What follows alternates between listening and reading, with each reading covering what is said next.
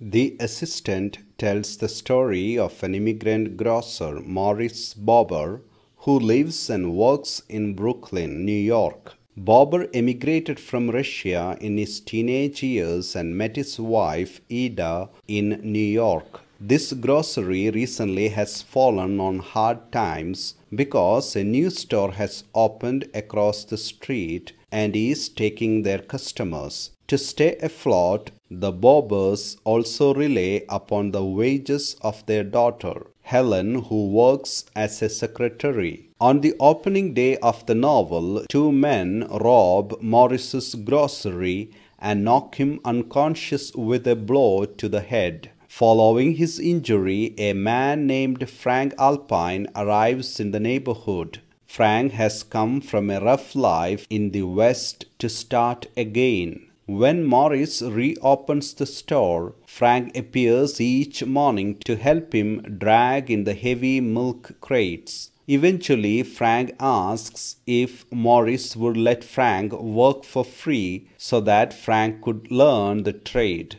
Morris says no and Frank disappears. Soon after, Morris observes that a quart of milk and two rolls are stolen from his deliveries each morning. After a week, Morris alerts the police because he cannot find the culprit. On the next day, Morris finds Frank Alpine sleeping in his cellar. Frank admits to stealing the milk and bread out of hunger. Morris feeds Frank and lets him sleep in the grocery for the night. The next morning, Morris sleeps while dragging in the milk and passes out. Frank rescues him and then puts on the grocer's apron and start working in the store. During the two weeks that Morris recovers, Frank manages to bring in much more money than Morris had done. When Morris returns, Frank moves upstairs to a small room of an apartment that an Italian couple, the Fusos, rent. Because business is so successful, Morris eventually wants to pay Frank. Frank feels guilty about being paid because because unknown to the grocer, Frank has been stealing money. Furthermore, it was he and Ward Minogue, a boy whose father is a local detective, who had robbed the grocery. Frank becomes interested in Helen Bober. Helen recently lost her virginity to Nat Pearl, a local Jewish boy whose parents own a candy store and who is attending law school. But she shunned him after learning that he only wanted sex. The other local Jewish boy on the street, Louis Karp, suggests that Helen marry him, but she is not interested. Frank courts Helen by meeting her at the library, which she visits twice a week.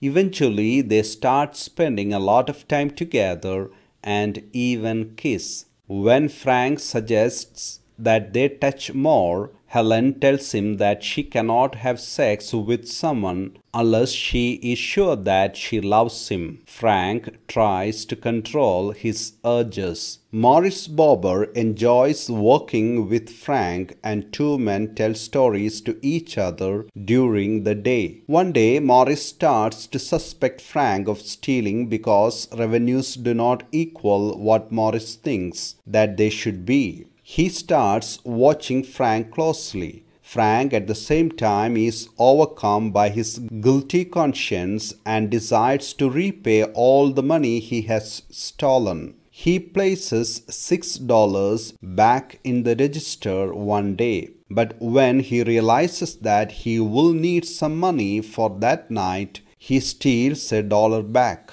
Morris catches him and is heartbroken. Still, he orders Frank to leave. The same night, Helen goes to meet Frank late in the park. She has decided that she loves him and will have sex with him. When she gets to the park, a drunk Ward Minogue, who she knows from primary school, tries to rape her. Frank appears and rescues her but proceeds to rape her himself. The following day, Morris Bober falls asleep in his apartment with a radiator unit, flooding his rooms with gas and almost killing himself. Frank and Nick Fuso save him. Morris contracts pneumonia and has to go to the hospital. Frank keeps the store open for the weeks when Morris is sick. Business is terrible because two Norwegians have just reopened the competing grocery and all the customers have gone there. Frank gives all of his personal savings to the grocery and works all night long at a different job to keep it afloat.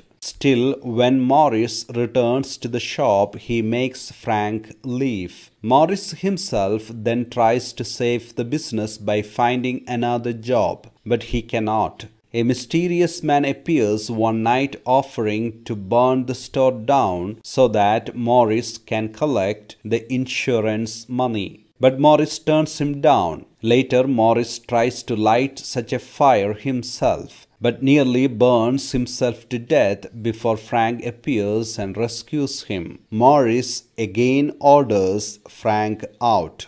One night, Ward Minogue, who has been diagnosed with diabetes and who is acting desperately, sneaks into the Karp's liquor store through a broken back window. After getting drunk, Ward accidentally sets the store on fire. Karp's store and building are ruined. The next day, Karp, who has insurance, offers to buy Morris's store and grocery so that he can reopen. Morris feels happy and goes out to shovel snow for the pedestrians, although he fails to wear his coat. Later that night, he falls sick and dies three days later from pneumonia.